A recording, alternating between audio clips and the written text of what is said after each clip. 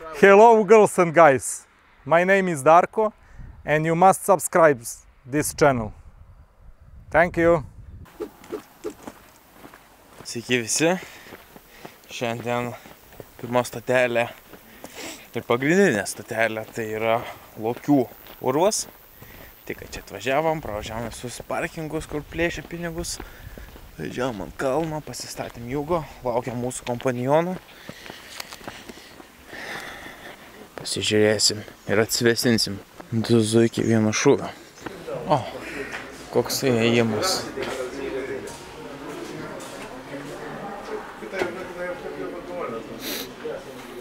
Dvidešimt penkios lėjos. Tai apie penki euriukai įėjimas. Fotografuoti negalima.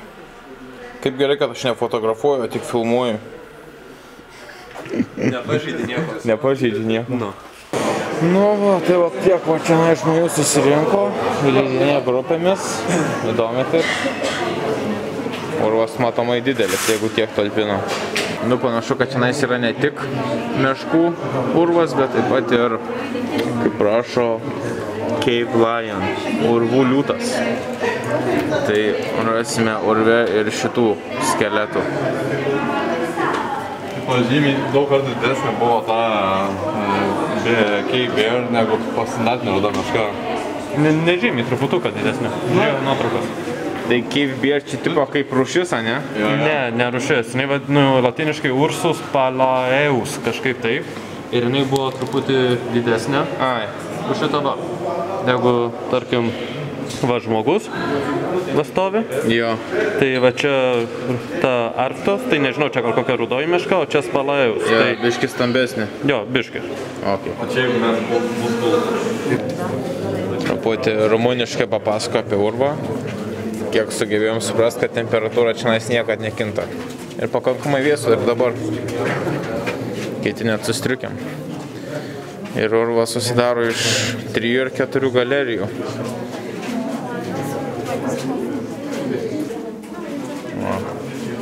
Čia biški kauliukų.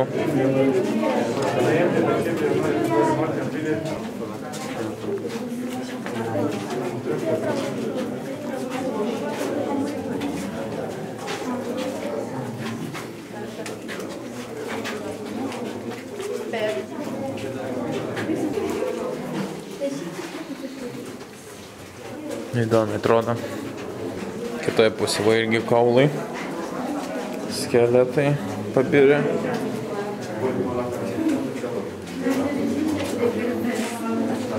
Va ir kaukulė matos.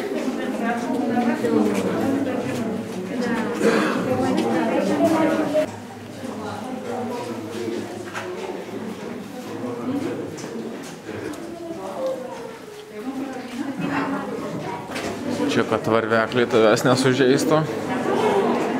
Iš viršaus tinkliukas. Arba kad tiesiog žmonės nečiupintų. O. Atsiveria galerija.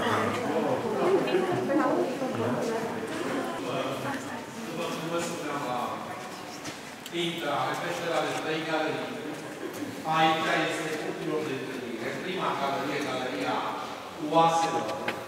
Am parcurs, este altceva decât un uh, coridor de intrare peșteră.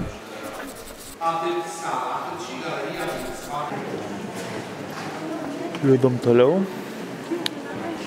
Panašu, kad angliškos versijos nebus apie šitą urvą. Teks paskaityti daugiau ant stendų po turo, kas dar rašoma apie šitą urvelį. Čia gerai atrodo. Spūdingai. Ir apšvietimas labai gerai sudėliotas, taip kartais net atrodo, kad tiesiog yra natūrali lauko šviesa kažkur. Bet tada suvoki, kad juk čia survas, jokio, jokio apšvietimo nėra, tai dingtų elektra, čia tai būtų aklina.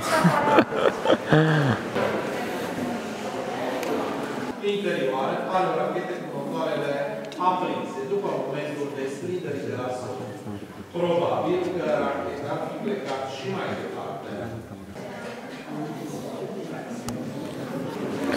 Dar vienas kambarys. Jau šiaip darosi šalta visai.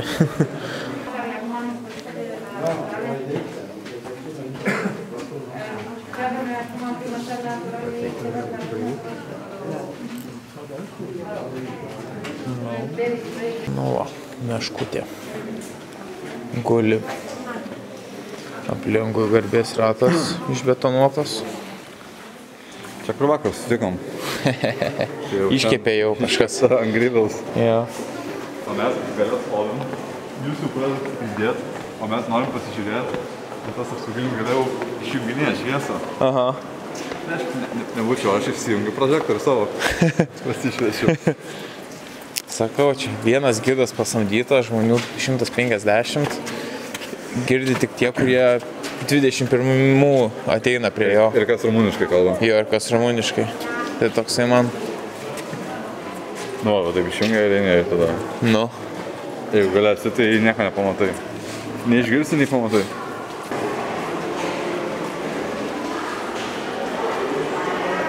Ir va, visai šitai žmonių grupiai tik tais vienas gidas pasakoja, kuris prieki stovi. Nu jo, pinigų plovimas. Vieta graži, tikrai su mano įdomi istorija, bet gidas tik tais rumuniškai. Taigi, net tarptautiškai pritaikytas turizmas. Fotkin, fotkin neleidžia, kur irgi dauguma dabar vietų kaip tik stiprina Wi-Fi ryšį ir panašiai, kad žmonės dalintųsi, kad kuo daugiau turistų pritrauktum, nes nu, čia jų yra pelnas. Tai tas neleidimas fotografuoti, tai va labai, labai keistas.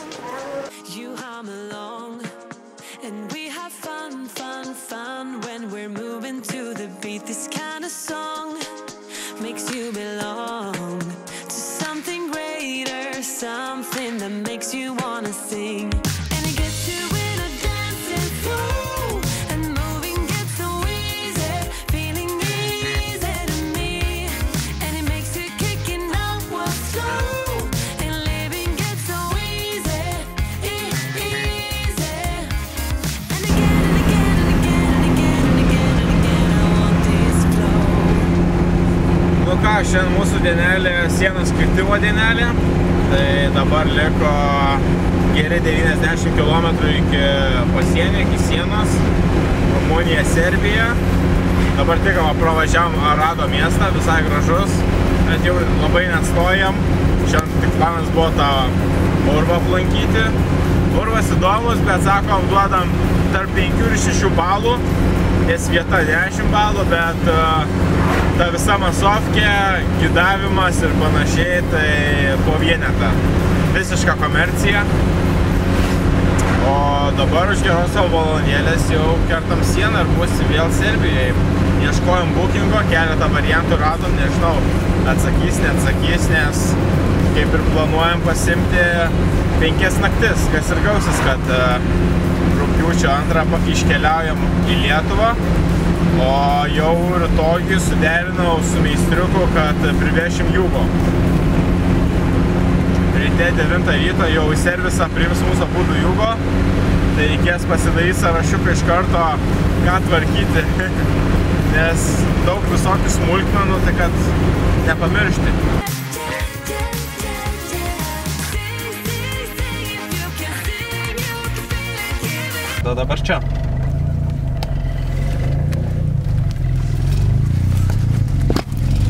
Įrašinė. Reikia pasus pasirašyti.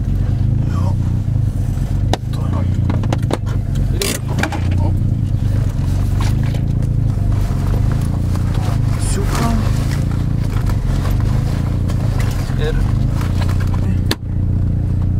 dokumentai čia.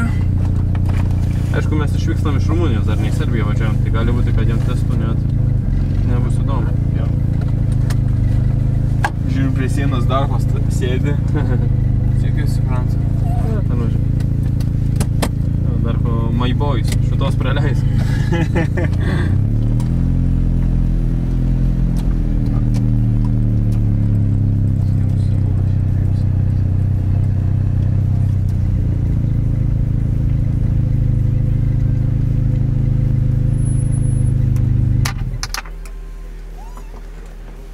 Dabar esmė tame, kad jiems normalu jau dabar bus. Jo, jo. Kaip čia dacijos. Jo, jo. O, sveiki vyrai. Sveiki sugrįžę, kur buvot. Nu, kaip kelionė. Gerai atrodo, su atsuktuvais viską. I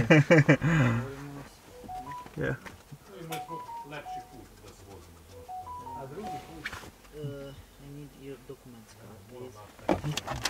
O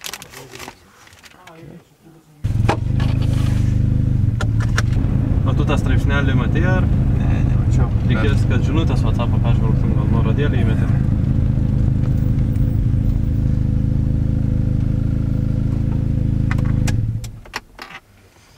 Toliau važiavom.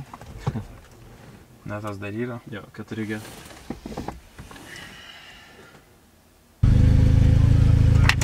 Hello. Ir mašinos gali duoti.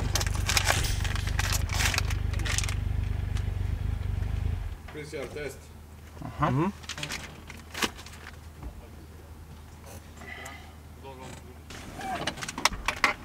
Эй, кто ты? Кто ты? А, я иду. Эй, ну что, Эй, э, си, just, just the back door. А, окей. Надо. Перевіряти багажини. Штунта. Важок не стріда, я клався.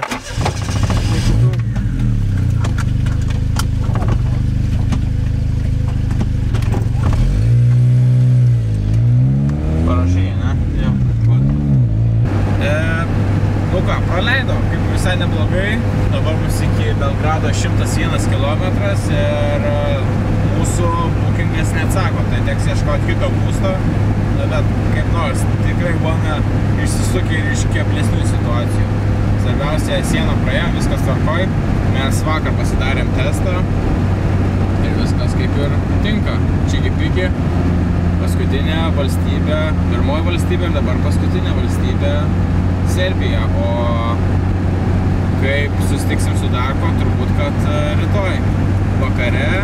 Nu, žodžiu, turim truputį laiko, tai bus labai smagu susimatyti vėl.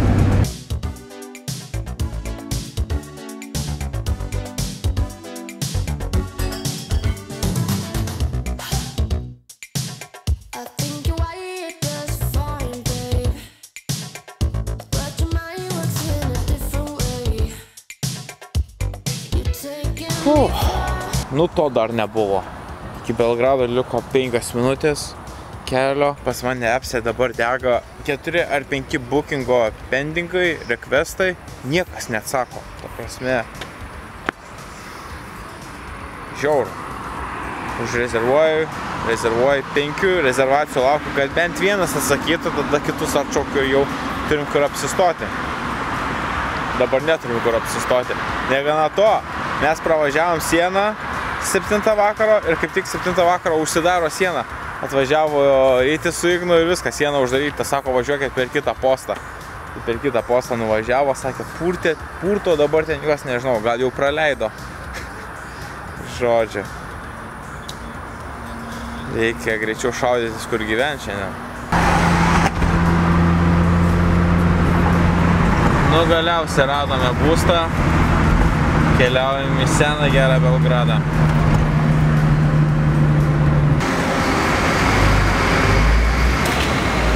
Ką? Aha. Jo, mūsų 17. Mūsų 18A dar nemačiau taip, kad taip atitraukė ir bum, kodelis. Sudedi kodelį ir kažką gauni. Pasiatrakinom duris. Parodysim jums apartamentus. Pink Floyd. Vienas mėgamasis. Balkonas. Kondicionierius. Kondicionierius. Ir tada kitas mėgamasis. Kondicionierius. Kondicionierius. Ir virtuvė. Čia pražiai viskas tvarkyta, padaryta. Remontas naujas, saliginai. O namukas toks senas, senas, nes centras. Ką dabar reiks susineš daiktus, tai šitą mūsų apartamentą tik tais iki 30 dienos. Paskui reikės kažką spręsti. nes iki rūpjūčio antros tai nieko nepavyko gauti. Tas nepavyko, daug yra variantų, bet niekas neatsako, tai nesuprantam kodėl. Rytoj bus misija mums prasitęsti, arba šitą prasitęsti, arba susirasti kažką naujo. Kaip buvo, ne? Fainai.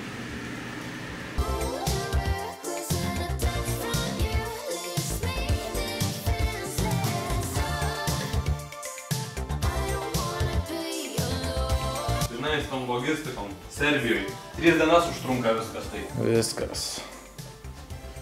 Polisio metas, aš susirikau savo elektroniką, kraunasi, dar čia kraunasi, kas dar nesikrau, nespėjau užsikrauti, tai rytoj uždėsiu krauti. Sudėjau savo daiktus, nu kaip ir viskas ok. Galėsiu rytoj atsipalaiduoti, kai priduosim Jugo Komanda irgi ten chimičino. Laikils paskaityti Vinhofą. Senai nesėdėjau prie jos. Dabar turiu progą. Aldas jau jungia romantiškesnės spalvos. Все нормально. jo, rimtai tai rytoj 9 ryto, kaip ir sutarėm pas servisą. Vežti jūgo, tai nežinau, arba su ryčiu, arba su jūgu nuvešim. Jau viską apsikrausim, todėl ir buvo planas šiandien ištuštinti jūgo. Čia biški, čia biški. Bagažinėse tik tais liko iš tiesų daiktai. Ir nežinom, kiek mechanikams ten užtruks. Dieną, dvi, trys, keturias, keturias mums yra maksimaliai. Bet jei pavyks, gal rytoj nulėksim į paplūdimį truputį paskutinius pasiskrūdinimus padaryti, nes kiek mačiau ten Lietuvoje jau lietus prasideda, o čia tai šiandien 38. Nesibaigia vasara. Gerai, bičiuliai, lėkiu lisėtis, knygą paskaityti ir susimatom rytoj. Iki.